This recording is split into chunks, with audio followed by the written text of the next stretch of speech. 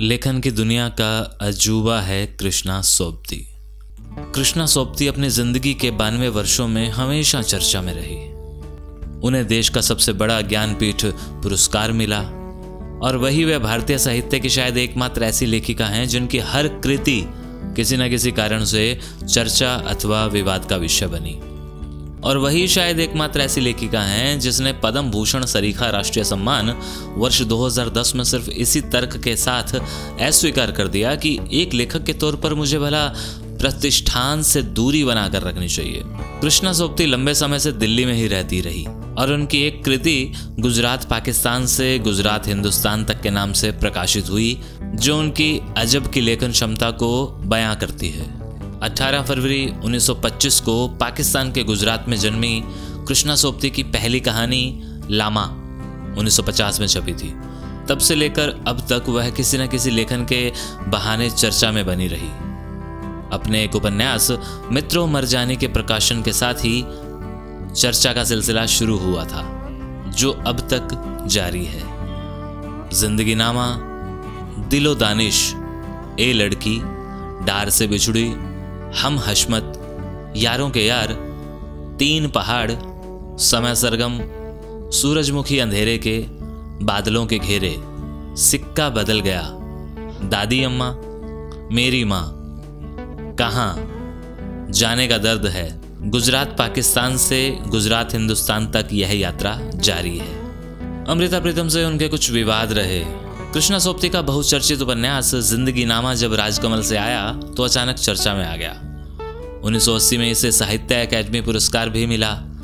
इसी के साथ अमृता प्रीतम की एक किताब आई, हर दत्त का ज़िंदगी नामा जिसके नाम को लेकर विवाद हुआ और कृष्णा सोप्ती ने कॉपीराइट उल्लंघन का मुकदमा कर दिया, जिसका फैसला 24 साल बाद आया। लेकिन फैसला उनके खिलाफ था। हाँ वो बात अलग है कि तब तक अमृता प्रीतम की मृत्यु हो चुकी थी। नोटबंदी के दरमियान भी कृष्णा सोप्ती ने एक कविता लिखी, जो अमिताभ श्रीवास्तव की फेसबुक वॉल पर दर्ज है।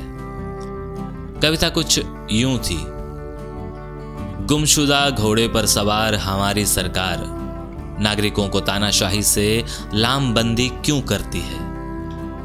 और फिर दौलतमंदों की सलामबंदी क्यों करती है? सरकारें क्यों भूल जाती हैं कि हमारा राष्ट्र एक लोकतंत्र है? और यहाँ का नागरिक गुलाम दास नहीं, वो लोकतांत्रिक राष्ट्र, भारत महादेश का स्वाभिमान नागरिक है। सियासत की यह तर्ज बदलिए। एक अन्य अवसर पर सार्वजनिक मंच से दिया गया उनका एक वक्तव्य भी चर्चा में रहा। सोप्ती ने कहा था, किसी भी देश की महानती की पहचान उसके साहित्य से होती है। भारतीय साहित्य से हल्का सा परिचय रखने वाले भी जानते हैं कि वह उदारता बहुलता, साझेदारी और समन्वय के मूल्यों में रचा बसा है। यही भारतीयता है कि जिसका निर्माण भारत की सभी भाषाओं के लेखकों ने किया। जिन लेखकों का भारतीय साहित्य से कोई परिचय नहीं, जिन्हें भारतीयता का कोई बोध ही नहीं है, वे भारत के लेखकों को भारतीयता सिखाएँ और उसके विरोध को मैन्युफैक्चर्ड बताएँ। इससे बड़ी कोई विडंबना हमारे समय में नहीं हो सकती। सोप्ते की लेखन शैली भी अलग है। वही एक स्थान पर लिखती हैं, वक्त को सजदा किया हज़ार बार, इस बार तो हाँ हो, हर बार एक ही आवाज़ आई, नहीं नहीं। दोस्तों, अगर विरासत में मिल गई हो नहीं तो क्या कीजिएगा? न किसी से कुछ कहिए, न सुनाइए, न दुख मनाइए, न दर्द को सहलाइए, बस देखते चले जाइए, देखते चले जाइए। ज़िंदगी की सीधी सपाट सड़क को जिस पर आपको चलते ही जाना है। दूसरों की निगाहों में अपने को देखती हूँ तो एक मगरूर, घमंडी औरत चमक दमक वाला लिबास और अपने को दूसरों से अलग समझने वाला अंदाज। और अपनी नज़र से अपने को जांचती हूँ तो एक सीधी सादी खुददार शख्सियत। वक्त और खुदा दोनों ही जिस पर ज़्यादा मेहरबान नहीं। फिर भी दोस्तों, हमने ज़िंदगी के हाशिए पर अपनी कलम से कभी गम का नाम नहीं लिखा। कभी तबीयत बहुत मचली तो अपने से यही कह दिया, ना हुआ तो ना सही, फिर सही फिर सही। सच कहें तो यही ढिठाई हमें पालती रही। इसे हमने अपने को संभालने नहीं दिया। हमारा कर्तव्य बस इतना ही रहा। शायद इसलिए अपने को ऐसे कमरे पसंद हैं, जिनसे मैं बाहर को जाऊँ तो कोई फ़र्क मालूम ना दे। ना यह लगे कि मैं अभी यहाँ हूँ और ना यह है कि मैं यहाँ नहीं हूँ। मेरे होने ना होने के बावजूद कमरा अपने कमरेपन में बंधा रहे। हाँ वो बात और है कि ऐसे कमरे घरों में नहीं होते। जहाँ पर होते हैं, वहाँ आप गैर हाजिर नहीं होते। अलमारी में ज़्यादा कपड़े मेरा माथा गर्म कर देते हैं। लगता है मेरी बाहर और अंदर की सफ़ाई पर कोई रंग बिरंगी कूची फेर गया। कुछ भी खरीदने की तरह मुझे लिखने की भी कोई जल्दी नहीं होती। कोई हड़बड़ाहट नहीं होती। यही कि कुछ लिखने को होगा तो लिख डालेंगे, ना लिख सके तो हमारे दोस्त लिख डालेंगे। एक जालिम सी तटस्थता दिल दिमाग पर कब्जा किए रहती है। चाह बहुत, पर इससे छुटकारा ना मिल सका।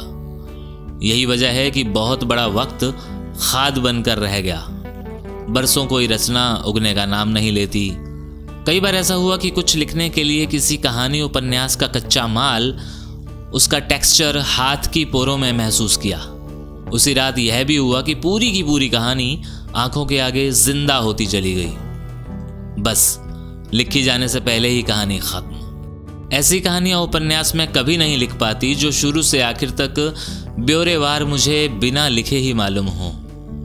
ज्यों ही कहानी की कड़ियाँ मेरी आँखों के सामने घूमी, खोज करने की, संघर्ष करने की, मेरी गर्मी मर जाती। मैं बाहरी दबाव में नहीं लिखती। मैं अपने सबूत होने में रच कर पैठ कर जीने की तरह लिखती हूँ। उसी वक्त लिखती हूँ जब लिख डालने के सिवाय कोई चारा ना रह जाए। ऐसी महान व साफ़ गो लेखिका को जो 18 फरवरी 1925 को जन्मी और 25 जनवरी 2019 को इस दुनिया से चली गई। इस लेखिका को मेरा, यानी कि डॉक्टर चंद्र त्रिखा का सलाम। और मैं केशव मेहता आपको बता दूँ कि ये जो आर्टिकल मैंने पढ़ा है, ये भी डॉक्टर चंद्र त्रिखा की कलम से है।